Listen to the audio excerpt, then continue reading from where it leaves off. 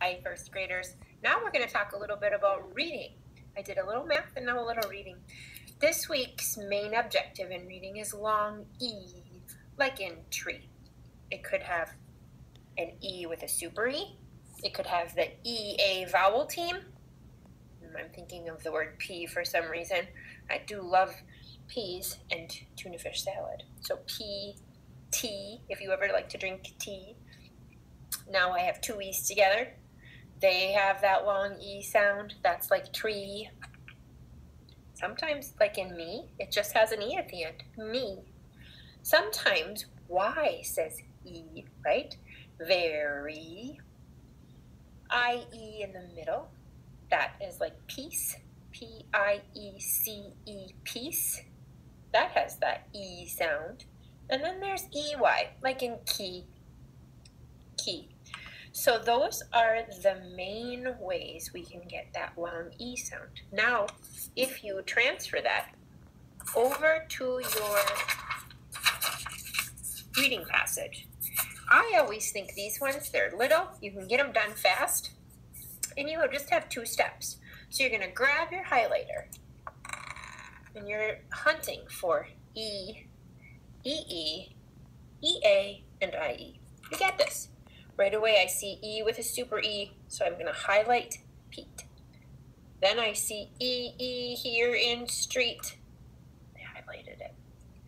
Now we, okay, that has the E, can see, there's two E's, a big tree on Pete's street.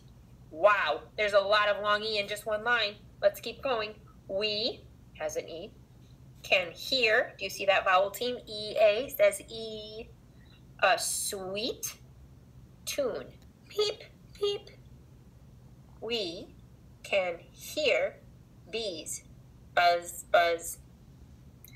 We can keep a log of what we see each day. Now I did the highlighting. I put my highlighter away and I now just read the highlighted words. Let's do that. Pete's street. We see tree, Pete's street. We hear sweet peep, peep. We hear bees. We keep, we see each. I practiced and now I go back and I read the whole story. It's repetition makes us even faster readers. And when you're super fast, you're fluent. And when you're a fluent reader, you are amazing. You don't have to work so hard. It comes really easy. So we have to put in the time though practicing. Here we go. Pete's Street.